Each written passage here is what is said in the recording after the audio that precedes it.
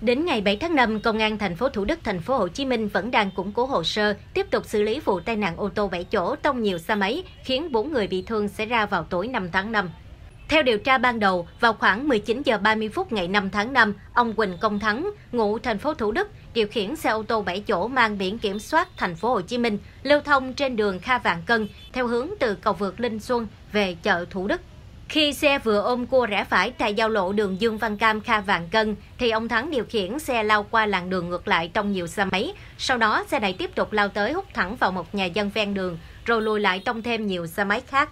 Vụ việc làm hứa thị Lê A 23 tuổi bị gãy xương đùi phải, gãy xương cẳng tay phải, Trương Văn H 36 tuổi vỡ xương hàm, gãy xương đùi phải, Trần Quốc Tuấn 42 tuổi gãy xương quai phải và Hoàng Minh TR 26 tuổi chấn thương phần mềm chân trái và mặt phải nhập viện cấp cứu.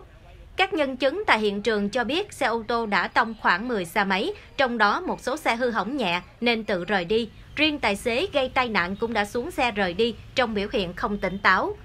Trong đêm 5 tháng 5, đội điều tra tổng hợp Công an thành phố Thủ Đức đã phối hợp cùng Viện Kiểm sát và đội Cảnh sát Giao thông Trật tự Công an thành phố tham gia khám nghiệm hiện trường, trích xuất camera để điều tra làm rõ nguyên nhân vụ tai nạn. Đến trưa ngày 6 tháng 5, ông Thắng đã đến cơ quan công an trình diện làm việc. Kết quả kiểm tra nồng độ cồn ma túy của công an đối với ông Thắng vào trưa ngày 6 tháng 5 cho thấy ông Thắng vẫn còn nồng độ cồn và không dương tính với ma túy.